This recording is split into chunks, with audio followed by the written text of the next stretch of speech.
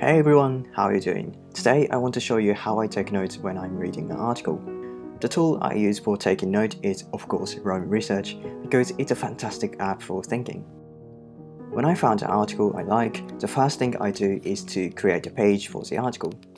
A at the beginning of the title stands for article. That way you can easily see what the page is about. The second step is to use my Resonance calendar template. You can create your own templates by using apps like Keyboard Maestro or Text Expander. Then I write a category, date, author, the link to the article, status, and keyword.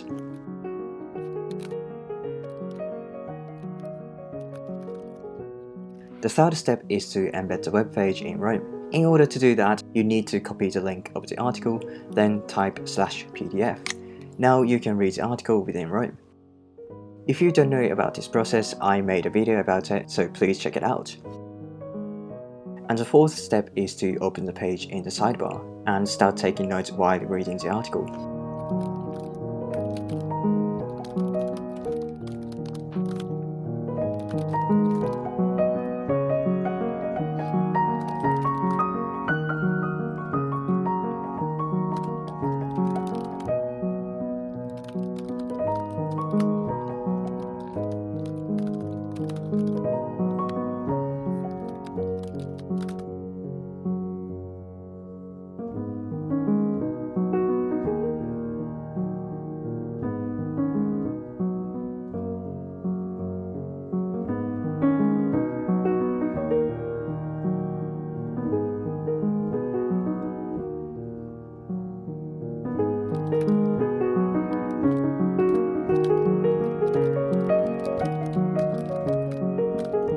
I said this before, but what's important here is to write it in your own words because it helps you understand what you're reading better. But to be honest, I feel too lazy to do that sometimes.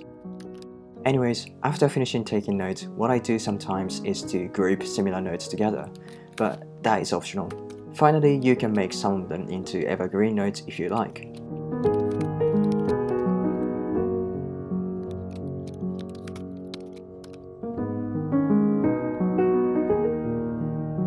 So that's how I take notes from articles. I hope you found this video helpful and I'd love to see how you take notes as well. So please feel free to leave a comment or send me a message on Twitter or Instagram. Thanks for watching, bye!